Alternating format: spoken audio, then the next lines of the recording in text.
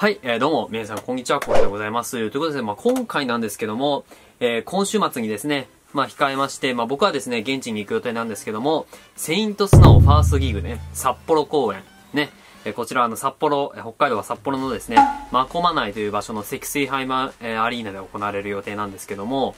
まあ、現在ですね、え、札幌は結構ね、まあ、札幌というか北海道はね、結構あの、感染対策等にね、努めていらっしゃるってことなんでね、まあ、僕も気をつけてね、遠征に行こうかなと思ってるんですけども、今回はですね、まあ、タイトルにもね、書いてあると思いますけどもね、まあ、現地行くからにはね、当然座席番号っていうのが指定されてるわけじゃないですか。で、今回はですね、紙チケットではないんですよね、実は。はい。もうここもですね、完全に今風になっていて、もう電子チケット。ね、えー、スマホに、あのー、スマホでこう、電子チケットというか、まあ、チケット番号を表示するっていうね、えことができるんですけども、こちらをですね、使って、まあ、当日入場すると。まあ、入場して、で、スマホで、え座席番号を確認して、そこに着席するという形になっております。まあ、今回はね、そんなね、あの、公演2日前にね、今回表示されるとされる電子チケットをね、早速発見して、僕がですね、席どこなのかっていうのをね、見ていきたいと思います。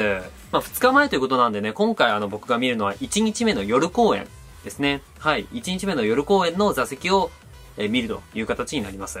まあ、2日目はですね、まあ、2日目も一応僕参加するんですけども、まあ、2日目は2日目でね、また別でツイッターかなんか、なんかでね、えー、言おうと思いますのでね。ということでですね、もうスマホで、えー、ちゃっちゃと見ちゃいましょう。今回はですね、あの、顔認証とかも、あの、必要ということで、まあ、顔認証というか、顔登録っていうのかな、顔写真登録というか、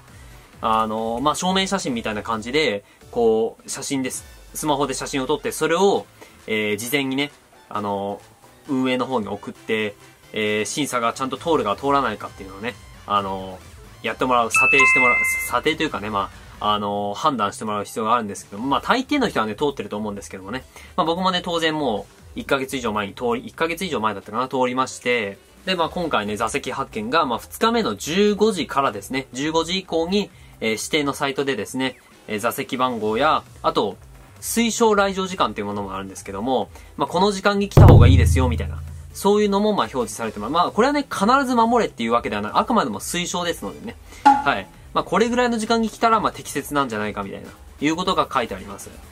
まあ、ということでですね、えー、早速ちょっとね、チケット番号の方ね、えー、見ていきたいと思いますけれども、さて、さて、今回はね、座席どこになっているのか、では、メールアドレスと、あと番号か、番号を入力して、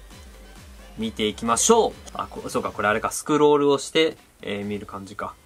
さて、座席番号はどこになってるか。おスタンド席ですね、僕は今回。はい、スタンド席でございました。えっと、スタンド席のこれは、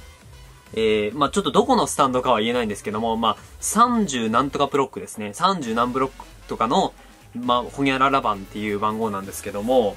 これあれかなまこまないだから多分、で、スタンド席だから、多分あれですよね。あの、座席表とか多分ネットで探せば出てきますよ。ちょっと見てみますね。あー、なるほど。この位置か。はいはいはい。見ました見ました。確認しました。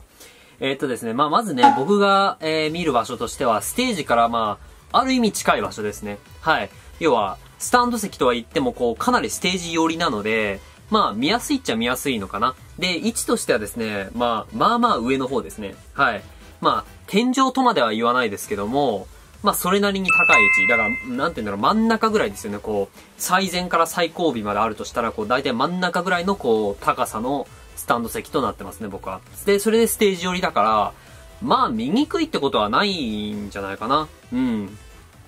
で、しかもね、あの、座席間隔多分、スタンド席でも空いてるでしょうから、まあ、比較的快適に見れるんじゃないかなと思いますけども。まあ、今回ね、ダズリングホワイトタウンだからね、あの、D ブロックとかね、なんかその辺も、えっと、W ブロックとかもなんかあるらしいですけども、まあでもね、セイントスノーのね、初の単独公演ってことでもね、楽しみですけどもね。まあこういうね、あの、電子チケットっていうね、新しいシステムをね、用いたっていうのもね、まあある意味ね、こう、コロナ禍がね、引き起こした、まあ新たなシステムとはなりますのでね、まあ超久々のね、ライブにはなりますけどもね。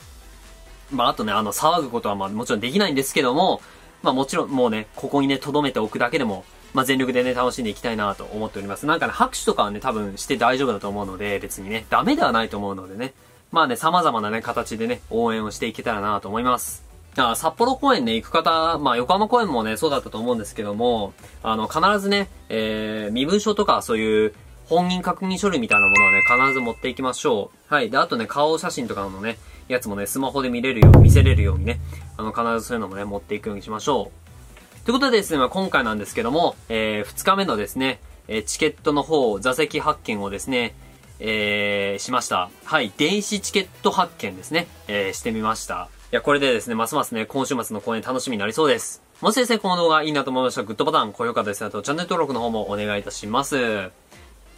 ではですね、また次の動画でお会いいたしましょう。以上、浩平でございました。バイバーイ。